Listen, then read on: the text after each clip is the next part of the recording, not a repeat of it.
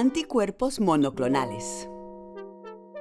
Los anticuerpos son moléculas en forma de Y pertenecientes a la familia de las proteínas. Nuestro cuerpo fabrica miles de millones de todo tipo y cada tipo se asocia a una acción determinada.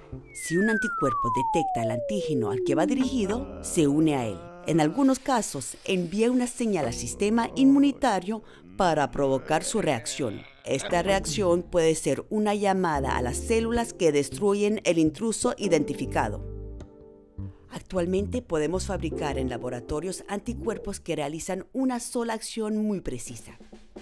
También sabemos multiplicar los anticuerpos para obtener una gran cantidad. Son los anticuerpos monoclonales. Mono porque realizan una acción y clonales en referencia a clon porque se multiplican de forma idéntica. Las células cancerosas se protegen contra las células T asesinas frenando o bloqueando sus ataques. Son mecanismos de inmunosupresión. Disminuyen o anulan la capacidad de defensa del sistema inmunitario. He aquí un ejemplo. Pueden activar las proteínas PD1 de las células T. ¿Qué es PD1? Es una proteína programada que desactiva las células T.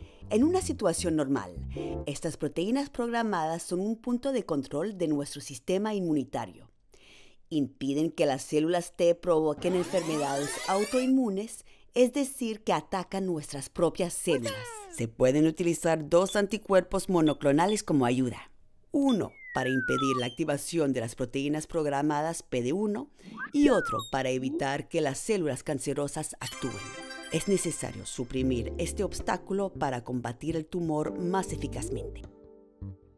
En palabras de los profesionales médicos, hay que impedir la supresión del sistema inmunitario frente al tumor.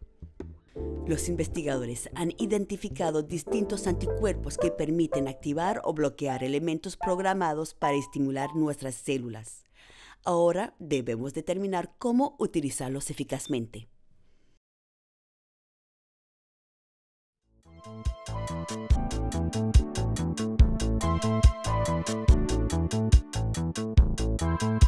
you.